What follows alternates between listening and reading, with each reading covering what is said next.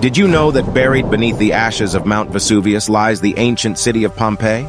Frozen in time, this Roman metropolis vanished in 79 AD due to a catastrophic eruption. Streets, houses, and even people were preserved by volcanic ash. Imagine wandering through its ghostly streets, a haunting testament to the power of nature. Pompeii's eerie silence speaks of a bygone era, offering a glimpse into the daily lives of its citizens. A city lost but not forgotten.